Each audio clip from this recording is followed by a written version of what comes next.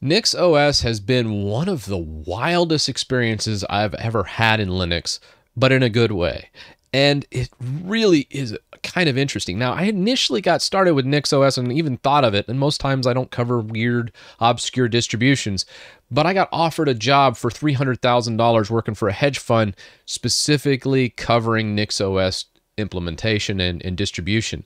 So it kind of piqued my interest, and I started looking around and I said, hey, there's a lot of jobs out there for NixOS, but there's not a lot of educational content. So I was like, you know what? I'm going to take two weeks, not make any YouTube videos, and I'm just going to hammer through a whole bunch of live streams and cover everything in NixOS. So if there is somebody that wants to make a lot of money, they can become a NixOS engineer, use these videos to start with, and then springboard. Now you might be thinking, how is a 10 minute YouTube video going to solve all this? Well, one, NixOS works a lot differently. It's reproducible, and you could probably take this eight minute video or 10 minute video and reproduce everything you need in my version of NixOS. But I want you to do a deeper dive. And I created a whole bunch of time stamped long videos for configuration. So if there is something you're missing in NixOS, I guarantee I covered it in one of these videos.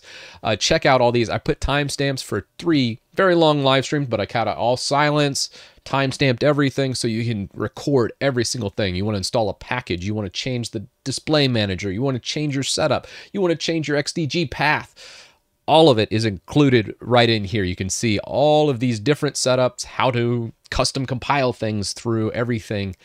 And NixOS, uh, if you want to reference my personal configuration I used and kind of ended up with in here, you can do it here as well.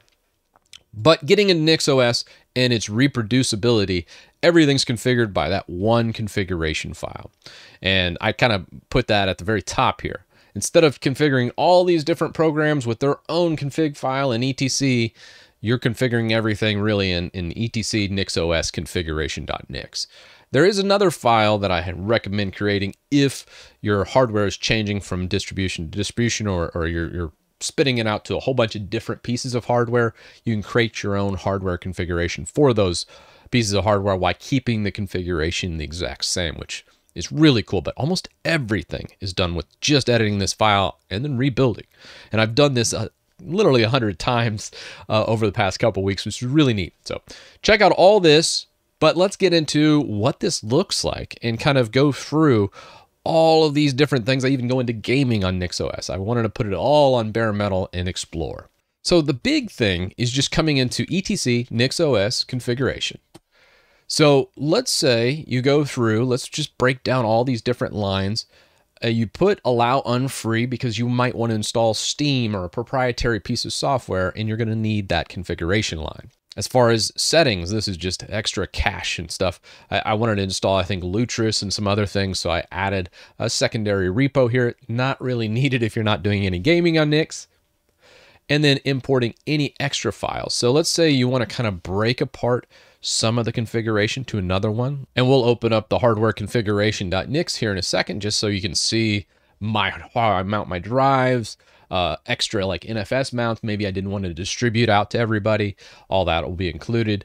Host names, how it boots, you configure the bootloader in here as well, which is kind of wild. So if you're doing grub instead of systemd like this system, you could change it all here. Again, everything is in this one file. Locale settings, X11 server. Now they do support Wayland as well. I saw a bunch of Wayland configuration. If you don't want to use X server, you can do that.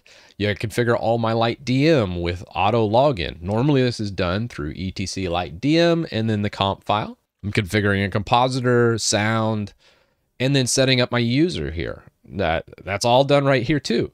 You can also see I'm setting my resolution right here. All these things are already like 10 or 15 different configurations in other distributions, but again, it's just that one file. And we have a whole bunch of different system packages here. Let's say uh, we want to add a new configuration package. Let's see if there's something in here that I want to maybe add. I could add another package down here. Let's say you wanted to change to like Terminator. I could just add the package in here. You could add all these packages. You can see this is kind of what I use on a day-to-day -day basis. Uh, so if I put this on a fresh system, it will go out and download all these packages in one go because it's all sitting in there. So let's say we open up a new terminal and I want to add Terminator. Terminator, well, you can see it's not there. We could create a specific shell. Let's say we only need it for one little thing. We could go nix shell dash p Terminator like this, and it will go out, download Terminator, and then put us in that shell. And then if we do Terminator like that, it will open up the Terminator prompt. Kind of wild, right? But as soon as we exit that prompt and we try Terminator again, well, it's not there because again, this is the system configuration and these are these little environment shells. So this little shell over here is like a Python shell or those types of maybe just virtual environments. You only need one or two things really easy to do. And that's what's really attractive about Nix is you can make it permanent. But if you just need it for like a one-off thing, you could just create a, a, a simple virtual environment using Nix shell, which is kind of wild. But obviously this is what we want to do. I'm going to save this file out and add Terminator as a package. With that saved, we'll just do a nix uh, sudo nix os rebuild and switch. And what this does is it references that config file, rebuilds anything and goes, hey, has anything changed here? We'll push it through and it'll go, oh, you know what? There's a new Terminator package. I'm going to go ahead and install that. And if there's anything else changed, it will also change and, and install that as well. With that done, and we can type Terminator, we now have it system wide. It's that fast. That's insane. So you're adding all your programs all in one go right over here. But it doesn't stop there. There's certain things where we can't really change the environment or or change the things like we normally would. A big example of this is I'm using DWM, which is a custom compiled version I personally have patched and built. It's unlike any other DWM in existence. And I have my own specific patches. So what happens there? I can't build it and then put it in the system. I can't do like a sudo make install system wide. Then comes Nix overlays, where it will literally reference all my source code and build it every time I do that switch. So let's say I make some changes in my DWM. All I have to do is a sudo nixos rebuild. And if you look back in our rebuild that we just did, you can see it, it rebuilds it every single time. So it's kind of wild. So obviously don't put a big project in here to be built. Otherwise your rebuild times might be very long. But with DWM, it's so small that uh, it's only a couple seconds. And then we add some like gaming tweaks here for a specific program. Say, hey, I want to make sure we enable this program and maybe open up some firewall rules for that specific program. All that's right here. We have virtualization in here, which we do these specific tags for virtualizing. You can see that in Virt Manager where we could just pull up our local media and do an install of like, like say we want Windows. We could easily put that on here. And then we have Flatpak and other uh, cool examples. And I even pimped out like the portal so I have my specific theme. So when I pull up a Thunar, you can see it's not like that blinding white custom theme. It's using all of my uh, LX appearance and stuff. So very, very cool way of doing it. And then anything else I want to do, like adjusting the system. So if I uh, type in gparted, well, you can see it's trying to elevate to root. It knows, hey, that, that needs a little bit more than what you have. And it'll launch gparted. So this tweak right here is doing a policy kit that automatically elevates things. All this is extra that I've added, but I thought, hey, wow, what else can't you do? So I was trying to break it or find stuff I couldn't do in it, but there really was nothing. I, I can configure all the firewall, all the networking. If I want to do static IPs, I could put it here, or I could put it in a separate Nix config file, which we'll pull up here in a second. I have all my fonts here. So I love the Meslo LG Nerd font. It's kind of my default font for almost everything in my terminal. And I set all that up right here in just a little fonts. And then when we move back down to here, you got the system. It can auto update, or you could set this to not auto update. Now, Nix OS it does a release cycle about every six months to a year, just depending.